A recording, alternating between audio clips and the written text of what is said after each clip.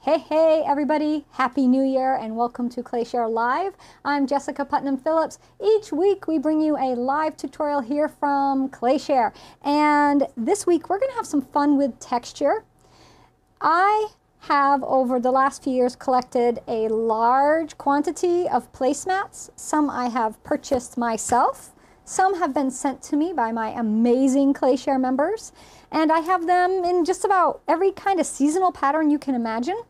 And I've got some finished pieces and we're just going to talk about texture and, you know, ways we can use them. Now, you know me. You know I love texture and you know I design my own line of rolling pins and we sell those through Clayshare Market and I think rolling pins are a fabulous way to add texture to your work, but it's definitely not the only way. There are so many other options out there.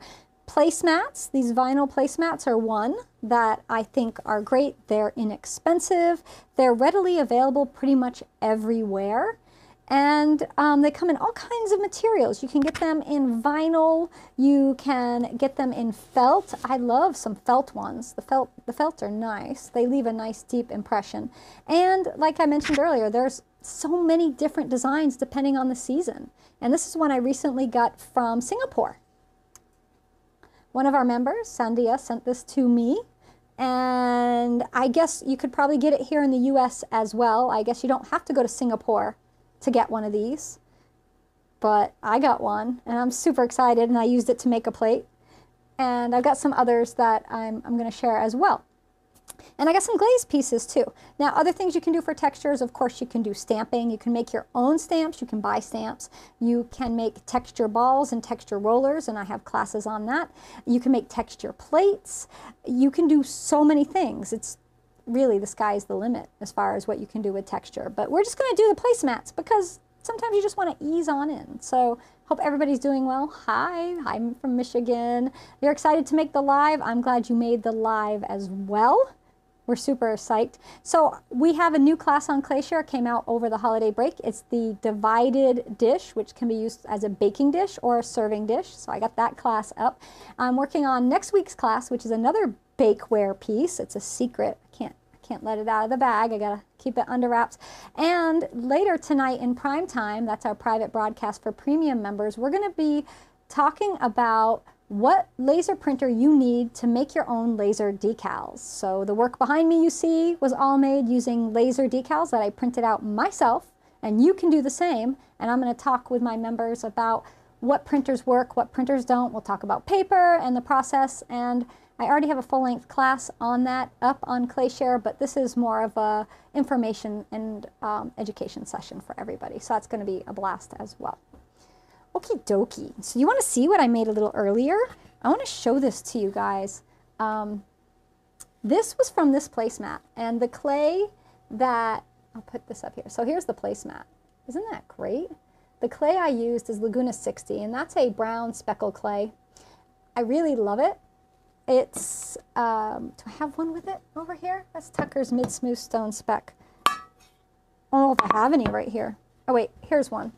Um, here's a piece with the brown clay. There it is fired, and there it is glazed. So this is a great clay that I'm using right now because it can be used for functional pottery. You can make mugs, plates, bowls. You can do sculpture with it. You can also do bakeware with it. Not all clays are great for bakeware. This is one that is, though. And so let me give a close-up over here so you can see. See how beautiful that texture is? It's divine. Was really nice. Um, so this was a simple plate I made um, right earlier today. Really easy to do. You made it on time. And you have this placemat too and you love it. It's, it's a great one. So where can you get placemats? That's a question that I get a lot. Um, hobby stores, craft stores, home goods stores, TJ Maxx will often have them. Home goods themselves, that is a store. Sometimes you can find them at big, big box stores, uh, Walmarts and things like that sometimes have them, especially seasonally. Uh, online, you can find them. People will sell them on eBay. People will sell them on Etsy. They sell them on Amazon. Um, a lot of other home supply stores that so sell decorative wares will sell placemats. And I just look up placemats, and this is what you get.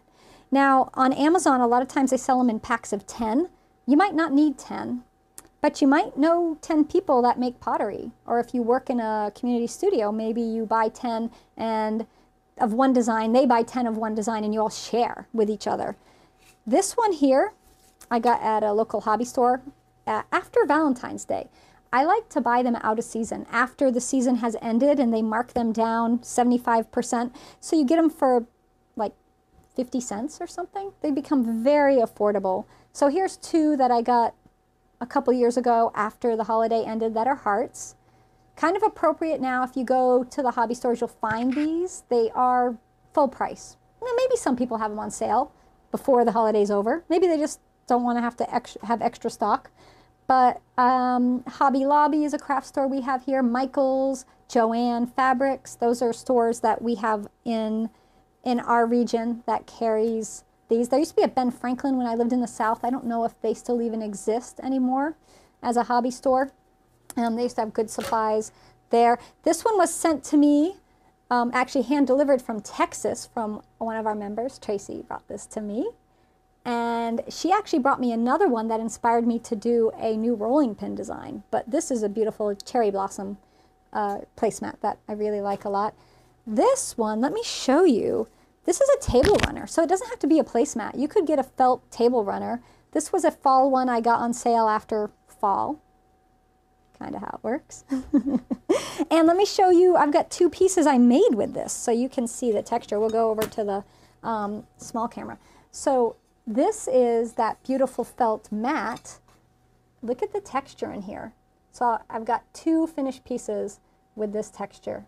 The this one here is my rose. This is rose gold from Georgie's. That's the this one, and then this one here, the other one is my black copper, and you can buy that from Clayscapes. So that's my black copper, the brown one. But it's this. Look how deep that texture is. It it it's amazing, and that's just from that felt placemat. There's the back of them so you can see. These were ones left over from my fall open studio weekend sales. So people came and bought a bunch of pumpkin plates, but not these two. I don't know why. They're awesome. So I kept them. They're mine. That's what happens, right? Then I end up with demo pieces for you guys. Um, so let's see, people are sharing links. We have Tablecloth Cloths Factory has lots of placemats. Um, so to make my rounded rectangle plate, I used a mold I made myself in the studio. So this is my wok bowl mold. This is a class on Clayshare. I made this mold um, to make pottery on, and it's what I use to make this beautiful rounded square plate, this plate right here. And you can make them bigger or smaller, but I have a class on teaching you how to make not just this mold, but we make fruit bowls on it. We make a squared plate. So this gets used a lot in my studio. I love this gentle slope on this plate. It reminds me of the RD2 forms that Jeff from GR Pottery Forms has come out with, but he only has two sizes. So hopefully they'll, I think there'll be more soon. I hope so. But you can make your own mold. This is not plaster. So a lot of people, when they hear mold, they are like, wait, no, no, I can't make a mold because I don't want plaster in my studio. It could be a problem. This is not plaster. This was made from clay and bisque fired. So this is a bisque mold. I just made it from scrap clay. So it is not plaster at all. It's just clay, which is great. You save your scraps and you make things from those. You make your molds from those. And you can use it from this way as a, um, you can use it as a slump mold or you can use it as a drape mold, your choice. But that's my wok bowl mold. And we have a member, Christina Warren. I don't know if she's on. when the class first came out, she went on a, a multi-city, maybe multi-state shopping spree, buying every size wok out there so she could make that, that make those wok molds. I don't know if she's on. Usually when, she, when we show that mold, she comes on and um, we talk about all her woks that she has. um, other, other great ones that I have, this was also sent to me from our member in Singapore, from Sandia. Oh, let me show you. I'm going to use this one tonight. We're going to use this. It, reminds me of peacock feathers. But they're very inexpensive. They're only a couple dollars a, a piece, if that. If you get them on sale, they're even less. Um, leaves like this, fall, if anybody's got autumn leaves left, these should be on sale. This is a beautiful one. I've made pieces with um, things like this. And then here's another fall one I got that's a place, uh, well actually it's a table runner maybe. And it, it makes great texture. It's actually this right here. We'll go over to the, so here's the texture.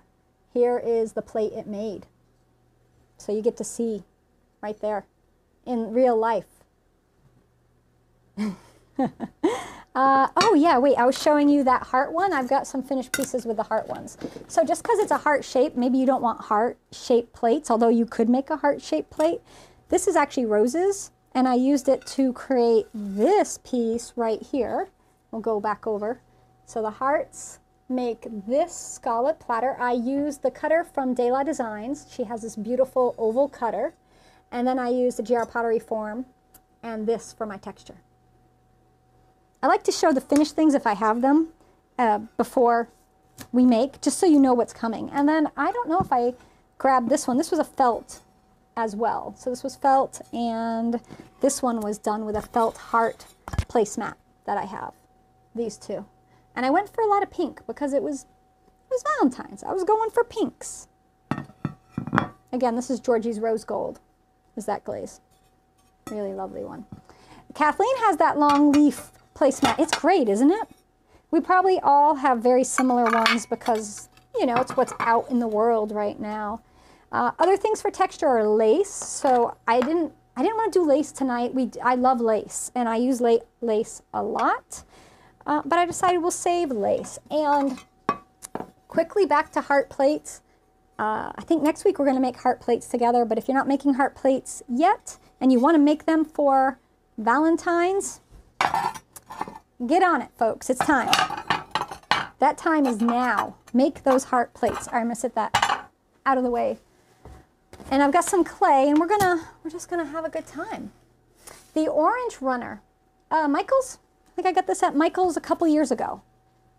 Is where this one came from. The great thing about these really long ones is I'm actually probably never gonna make a piece as long as this, although that could be a cool wall tile, right? Um, but you could cut it up and share it with a friend. Cut it, I mean, honestly, you could probably cut it in thirds and have three really good sized mats. What else? I'm killing my lathe. I'm smacking my mic. I'm sorry, everybody. Smack, smack the mic. I mean, hey, it's an occupational hazard in the pottery studio. My production guy's losing his mind. Sa sound engineer it's all right. I promise it'll be okay. Shine has a lot of placemats. Yes. Yeah. So you never could find an old wok. I bought mine brand new from our store in Albany. It's the Asian supermarket. That's the name of the store. And it was brand new, but it was like $22 for a big wok. And I thought it was worth the investment to make molds from it. And I've made two or three molds from it. And it's been like six years since I made, I bought that wok and I've been using that mold. It's worth it. It was worth it for me. All right, let's use, I got a lot of clay here tonight. So we're just gonna grab a piece and I'm gonna work with, again, this is that lovely speckled light brown clay. And I rolled this clay out a little while ago, about two hours ago, and it's been wrapped up in plastic since then. So it's good to go. The darker clays with grog sometimes I find are very wet, and I like to roll them out a little while before I plan to use them. You know, at least 20, 30 minutes to give them some resting time so some of that moisture can start to work its way out because they do get a little super super flexible and we don't really want that. So you have a plastic four drawer tool organizer from Office Supply and the placemat lays flat. I have one, I, it's three drawer, it's white. It's a Sterilite organizer. I don't know if I can actually show that it's way across the room. Maybe I can see if I can get a studio helper to move, to stop their job and move everything.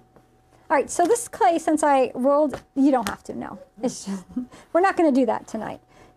Um, this is the clay I rolled out earlier. It's about 3 eighths of an inch thick. I'm thinning it down just a bit because it's a little thicker than I really need. So we'll just smooth it out, get rid of any texture that was on there from the canvas that I used. And it's a, it's a bit thicker than I need, so we're just going to take it down a bit. Now, if you're going to use clay to make a plate, you need to know what size plate you want to make. And it's a good idea to have your clay to be big enough for said plate. So I'm going to make something square and you can just free cut or if you want to, you could use a GR pottery form if you have any of those as a template. So you could go ahead and cut that way.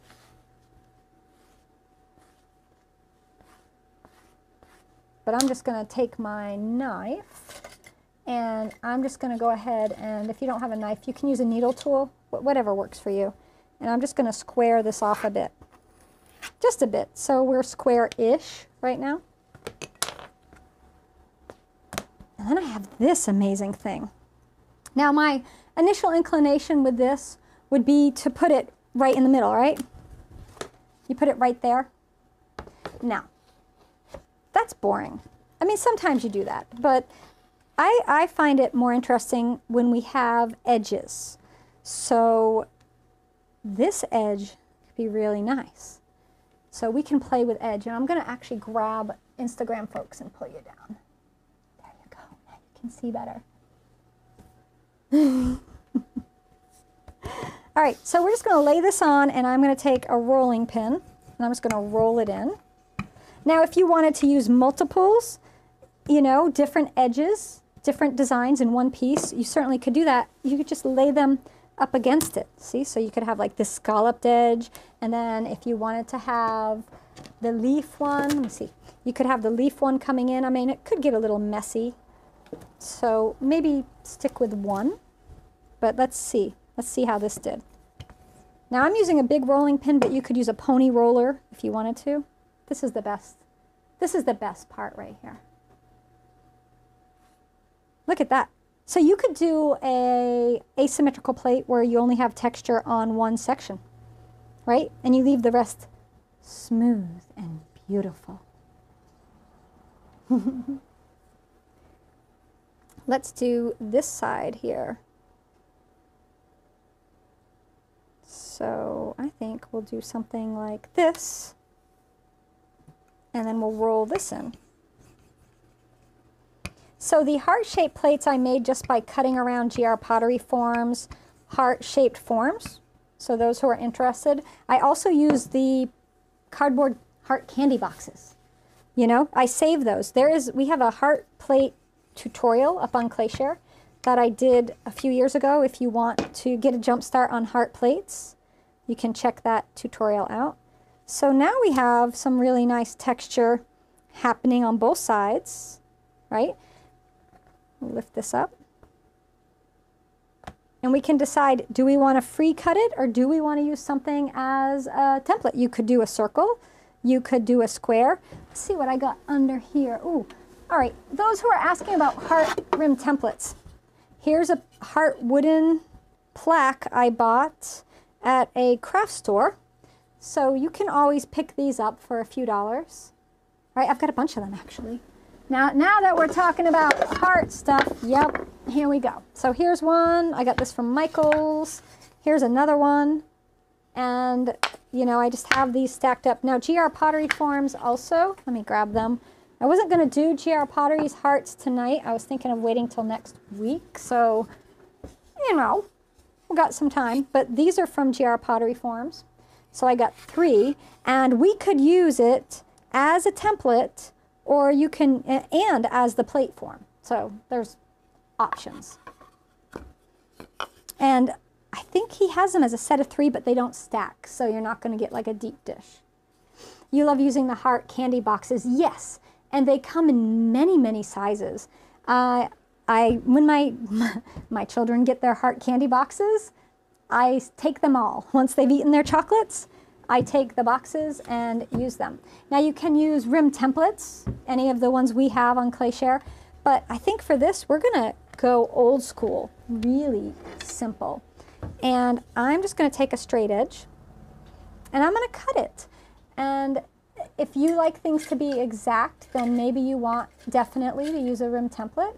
But if you like to go with the flow, this could be kind of a new thing for you, right? So we cut one side, got to make a square. We'll cut our other side. Could make a rectangle if you don't want a square. There's no rules, right?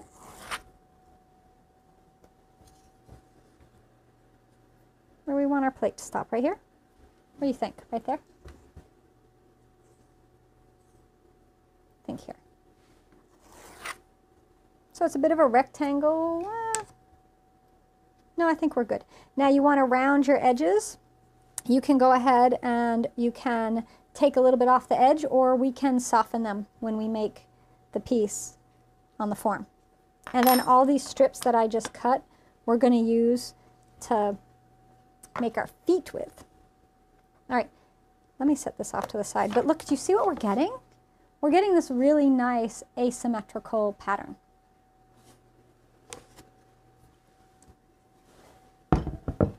I am using my Christmas present. this is what I got. I have the little one, uh, but this one was the one I got for Christmas. And it's really great because look, my wok bowl mold, my wok mold fits right on it. And then I can spin it. It doesn't hit anything. Isn't that beautiful? All right, so let's grab our little square of clay and we're just gonna drape it on here. And we're just gonna eyeball it and you might have to scooch around a little bit to get it where you need it to be. Yeah, I think I went that way a little too much. There.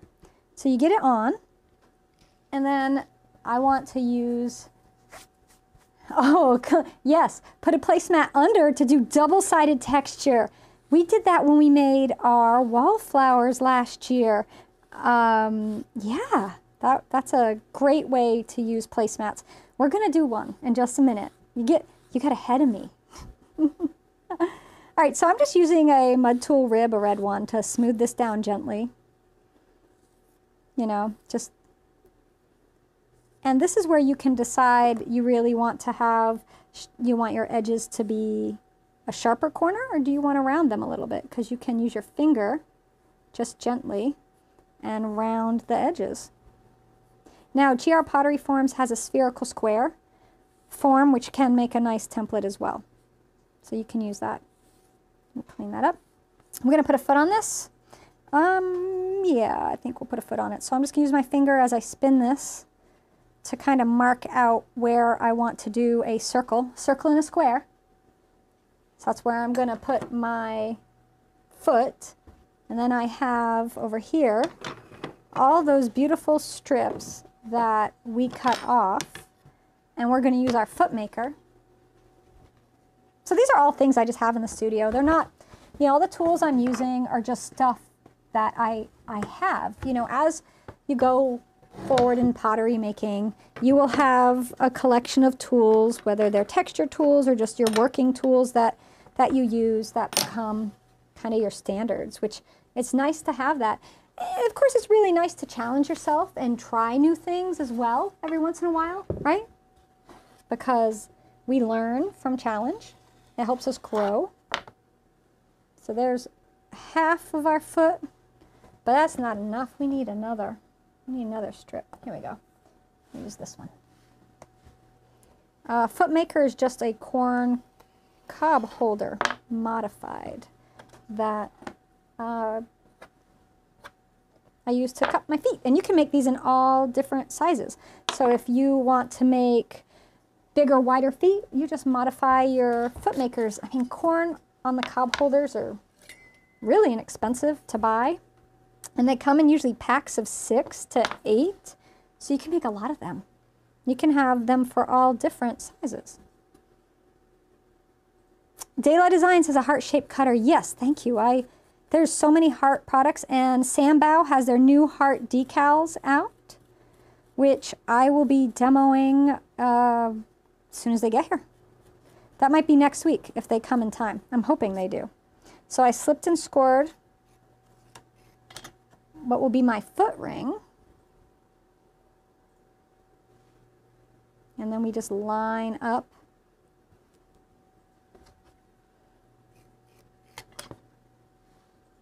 our little feet.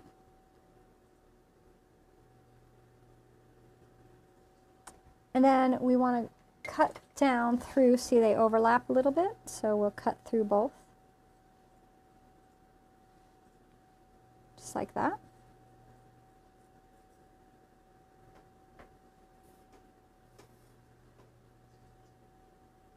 You like the double-sided texture. Well, we'll do it in a second. Um, so, double-sided texture. You can do with placemats on both sides. You can do with placemat under with a rolling pin on the top. And that's what I often do because you might have tried rolling texture with a rolling pin on one side and then flipping your clay over and try to roll on the other side to get texture. It works, but not well.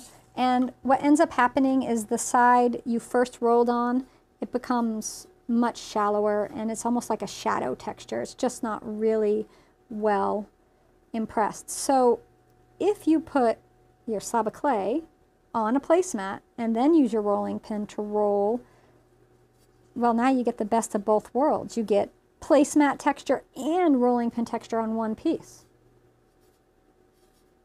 Watch out.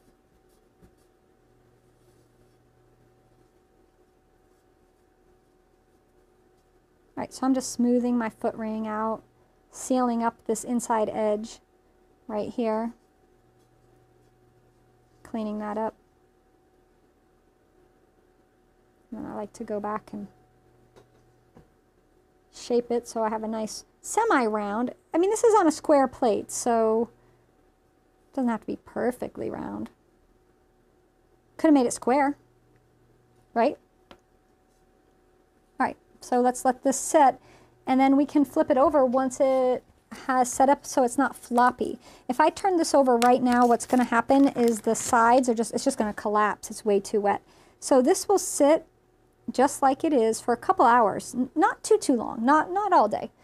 Two hours should be enough in my studio. And then I can flip it over and I end up with a shape similar to this right here. Different pattern though, right? Because we use that beautiful placemat. My rib I bought from, um, I think I got it at NCECA from Mud Tools, but it's uh, Sherrill Mud Tools rib.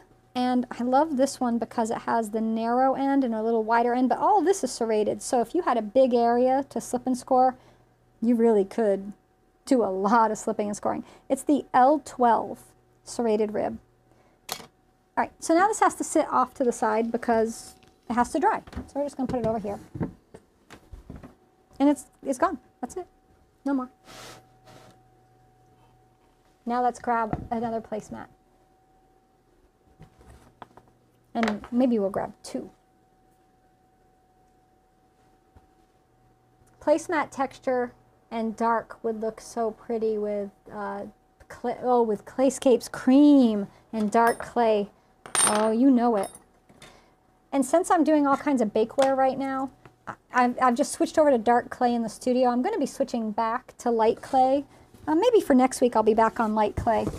But right now, what happens in the studio is I switch all the way over to one type of clay and I'll use that for a period of time and then I have to clean everything and switch back. So if I'm using dark clay, I don't want to be grabbing B-Mix and trying to use B-Mix or porcelain with the same tools that have the dark clay on it, unless I want some interesting marbling, which it would work. And I think I showed this the other week, but this is how I store my slabs. I roll them out, I will set them on plastic and then wrap them up, and they, they keep for days to weeks this way. It, they, they keep for a long, long time. All right, I want to take this off and put it on this little work board.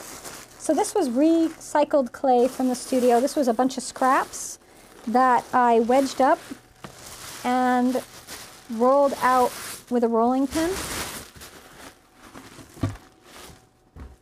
I just took all the scraps from everything I'd been making and turned it into this slab. And so now we're going to go ahead and smooth it out. It's really thick, so we're going to roll it out a little more to thin it down. And if there's any air bubbles in it, we're going to go ahead and, as we smooth it, they'll pop. And if we need to fill them, see there's a bit of clay building up. I see there's a little one there. We'll just take a little bit of that clay and we'll fill in that air bubble. Because air bubbles happen, but it's not a big deal. Still got canvas on this side, so we'll smooth this side out.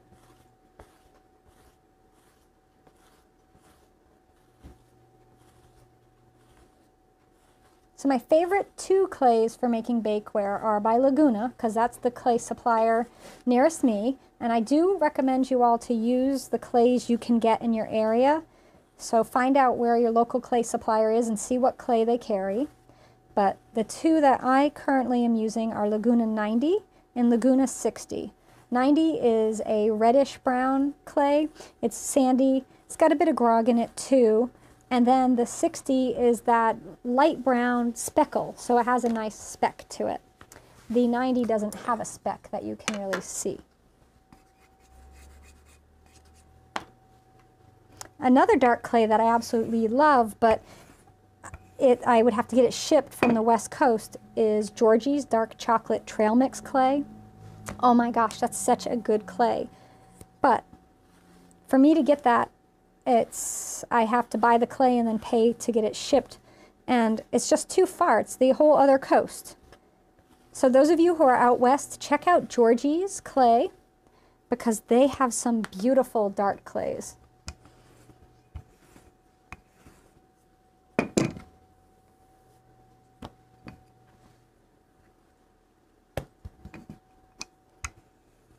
As we roll, you can see it stretches a little bit. Some more of the air bubbles come to the surface.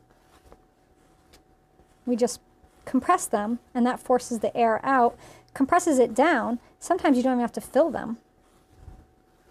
All right, so this is the one we want to do placemat under, placemat on top, right? So we're going to do a double texture. That sounds like fun.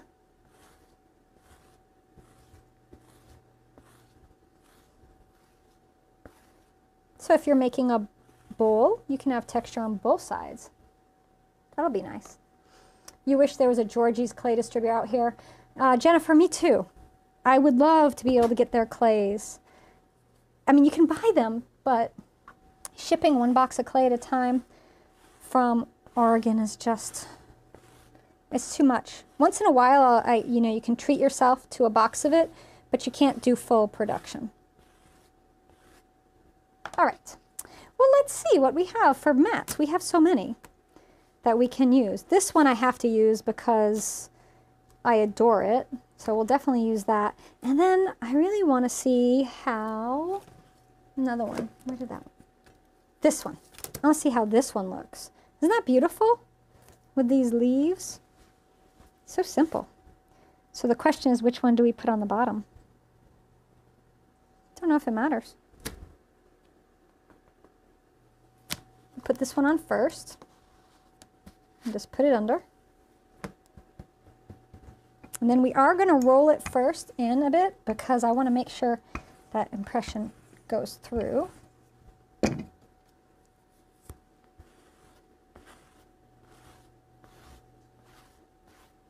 then we'll do this one right on top. This one is so far my favorite. Love it.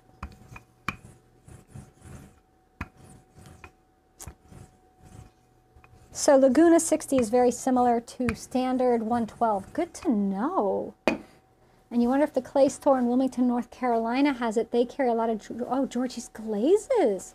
Maybe. All right, so let's peel the top. Actually, let's, I want to make sure I got it really on there.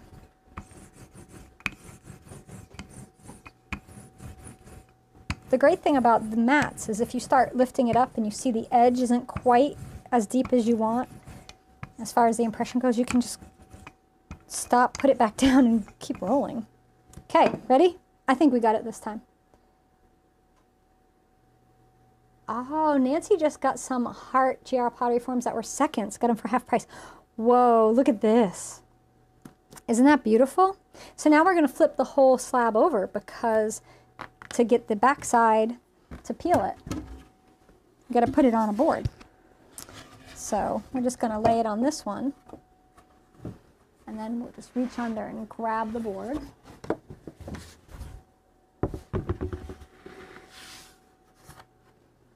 And then we're going to peel it up. Everything's going to kind of stick, so I'm just gently pulling. And then now can peel our texture. So look at that, isn't that pretty? Some of the mat came off. So how do you pick which side you use? That's tough, right? you got this beautiful leaf on this side. It's really nice. Or you have this on the back.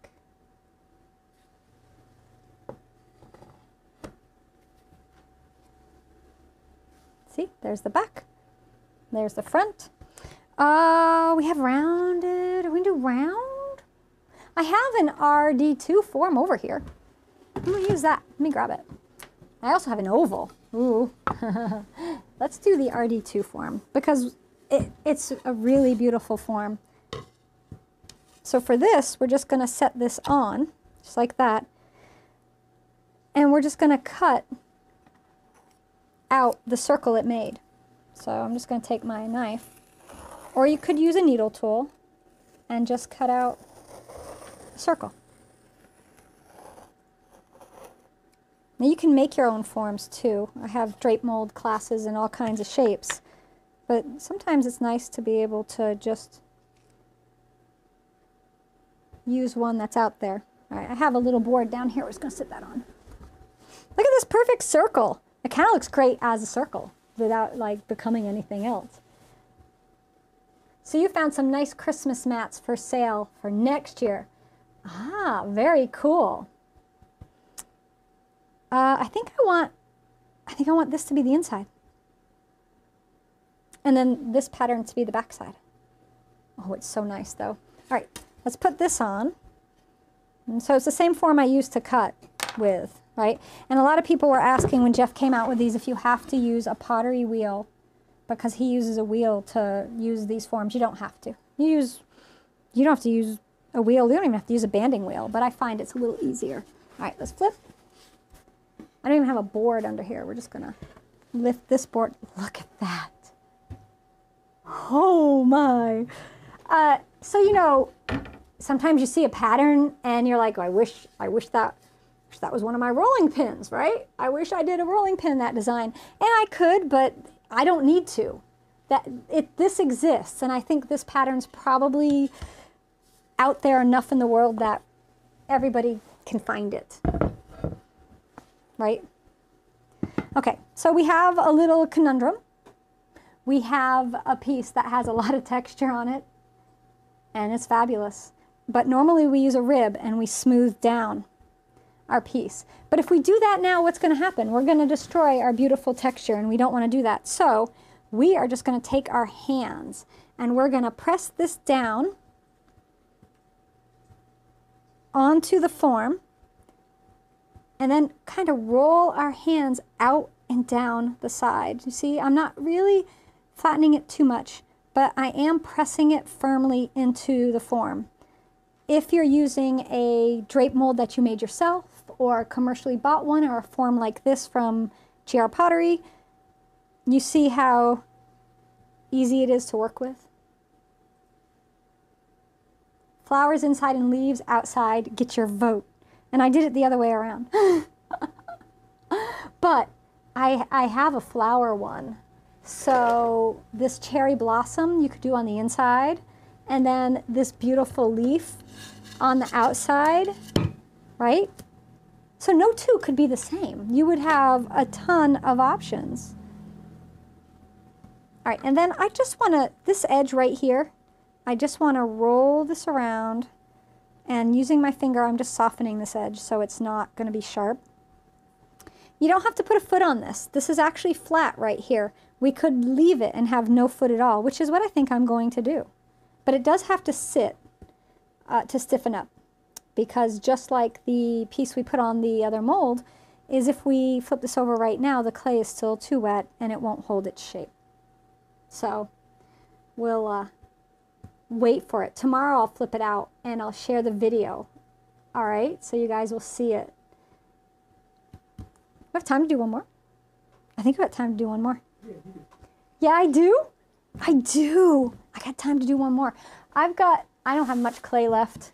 I've used all my clay. It's sad. No, no, it's fine. It'll be all right. Uh, I have more. I got a couple tons of clay actually in the studio right now. There's, um, honestly, I don't like having this much clay at the beginning of winter because sometimes the studio freezes and then my clay freezes and that is no fun at all for me because I have to wedge and pug it all. But um, sometimes you get crazy when you go pick up clay and I buy too much. That's what's happened. the last last few times I've gone to Vermont Ceramic Supply, they the buying has been a little crazy. I'm trying a bunch of different new clays is what it is. All right, so here's a little strip.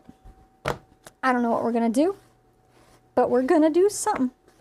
Actually, I do know what I'm gonna do. So this is for all of my um, potters who like things to be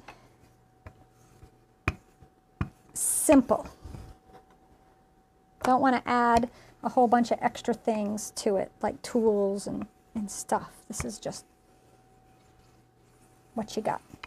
So we rolled out our little strip, thinned it down a bit.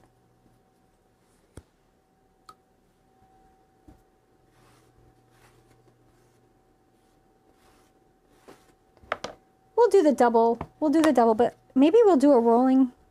No, we're only using placemats. Nope, nope, we're gonna only use placemats. We're gonna do the Sakura on the outside and I have this pretty wavy rose. It won't matter on the inside because it's gonna be a three-dimensional form.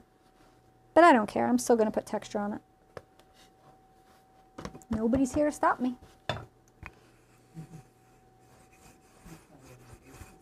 They wouldn't be able to stop me anyways. Ha ha. All right.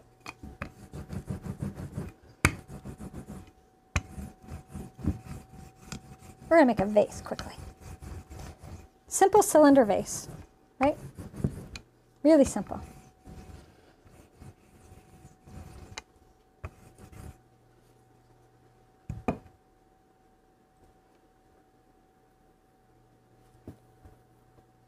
Cherry blossoms.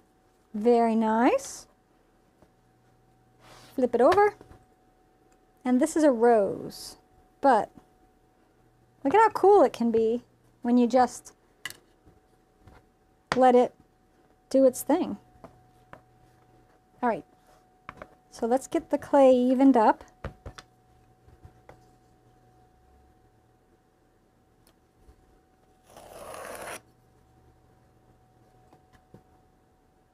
So we're making an even bottom, even top, I don't know, maybe four inches tall is about what we're at here. I'm not even using a template. It's crazy. This is a little uneven, so I'm going to just do a tiny cut to even this out. This is when you don't want any rules at all. Like, that's it. I'm doing what I want. Nobody's going to stop me.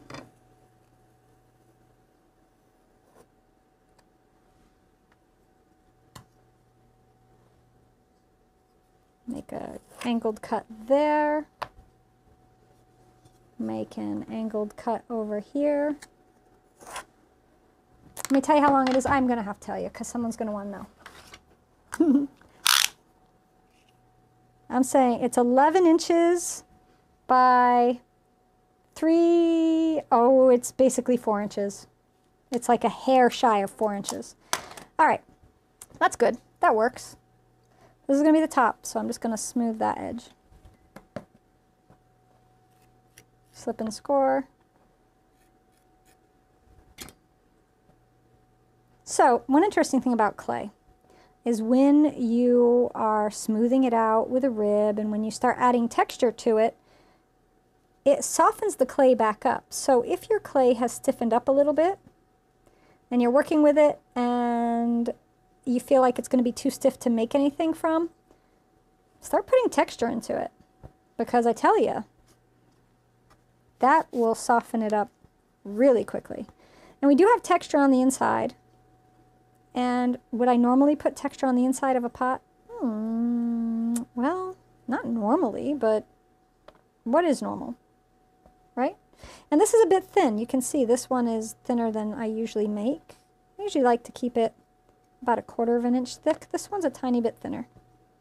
Not too much though. Closer to an eighth.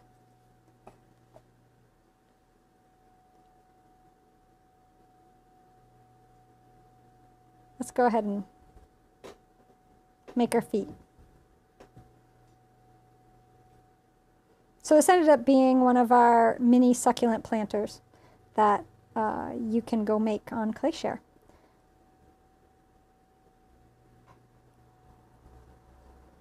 Smooth our feet out. So this is when I don't want to make bottoms separately and attach them. You just fold in your bottom Look what you can do. Right? Sometimes you need a little ball of clay here.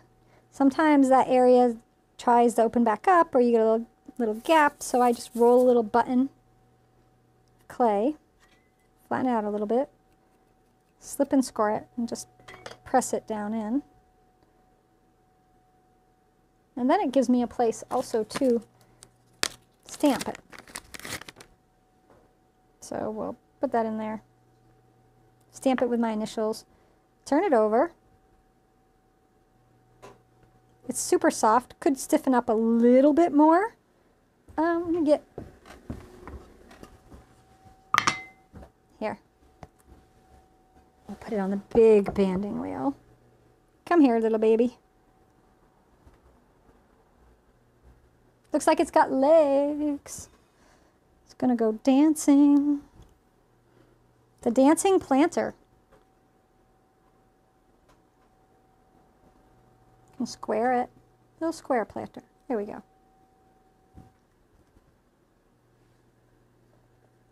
So you have texture on the inside, which is kind of fun, right? And texture on the outside. And if you don't want it square, you round it back out. Up to you. You got a poinsettia at the Dollar Tree. Oh, poinsettia placemat. Very nice. Yeah, so this, this could be a really fun little planter. Once it's stiffened up, I can put holes in the bottom for drainage. Can't really do that now because it'll collapse on me. And you can also put a little bead of clay down inside too. That'll help fill in the hole on the outside. So right in there, it's just a little bead. That's it. Yay! so there we have it. Cute little planter. Um, that was just a quickie, but I do have that as a full-length class. So if you want to know how to make these cute little mini succulent planters, I think is what I call them. We also do them as tri uh, tripod planters as well. So um, I did four legs. You could do three. Don't let anybody tell you four legs is less stable than three. They can be all stable. Doesn't matter. I really like it squared. I'm trying to decide if I'm going to keep it squared or not. The other pieces, we're going to have to wait till tomorrow for them to get flipped off their forms. It's, they're too wet, but I will share that. But look how fun it is, right? This, this is, I'll share this one because this one is done. So you see what one can look like and it gives you an idea. There, we'll put, put Instagram back up. Okay. All right, there we have it. So next in prime time, we're to go ahead and talk about laser printers for making your own decals. So if you have images or pictures, um, you know, if you've got a picture of your kitty and you want to put it on a piece of pottery, you can. If you have a wedding announcement or something you want to do, you want to put the words on there, you can. If you have a beautiful illustration and you want to jazz up some pottery with your own drawings, you can do that too. So we're going to talk about that next. Specifically about the printers and any other questions folks have about making their own decals, I do have a full-length class and I have a little tutorial on making laser decals, but we'll talk specifically about printers because it's super important. If you do not have the right printer, you're not going to be able to make the laser decals. Same with paper, so we'll talk about the right paper because you need that too. I hope you guys had fun playing around with some texture, just a little fun, you know, a little bit of uh, getting back in the studio after the holidays and breaking in some new textures for the new year. All right, everyone, take care, be well, and make great pots. Bye, everybody.